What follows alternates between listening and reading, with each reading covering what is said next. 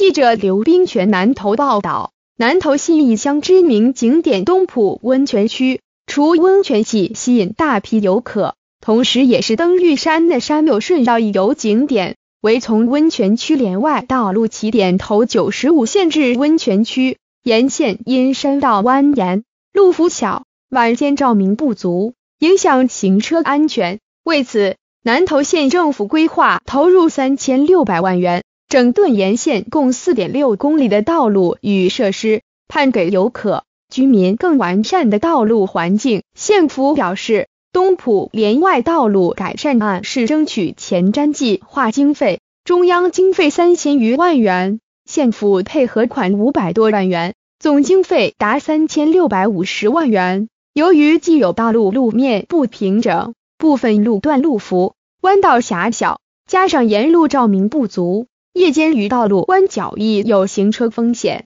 因而规划道路改善，以提升观光区的道路品质。道路改善内容除四点六公里路面重铺、整顿人孔盖、道路侧沟清淤加高、设置护栏以及照明、耗纸结合供干外，沿途也会增设路灯，并在道路弯角增加反光设施，提升夜间行车安全。工程规划若进度顺利。渴望在年底完成。